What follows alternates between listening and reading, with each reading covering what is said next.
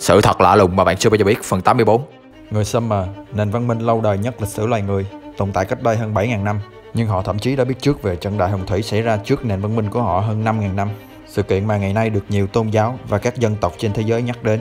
Và thật trùng hợp khi gần đây nhiều nhà khoa học đưa ra bằng chứng về một sự kiện tương tự như cơn đại hồng thủy diễn ra đúng vào khoảng thời gian đó. Chưa hết, họ còn biết về chu kỳ nghiêng trục mỗi 26.000 năm của trái đất. Điều đó có nghĩa là họ cũng biết rằng cứ 72 năm trái đất sẽ nghiêng đi 1%. Và bằng cách nào đó, họ còn biết rõ về tất cả các hành tinh trong hệ mặt trời.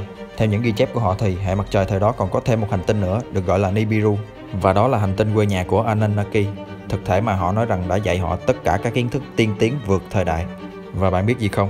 Người Summer còn có công trình kim tự tháp của riêng họ và nó được xây dựng dựa trên khuôn mẫu hình học thiên liêng. Thậm chí, nó còn có cả sân đáp dành cho những con tàu bay của Anunnaki.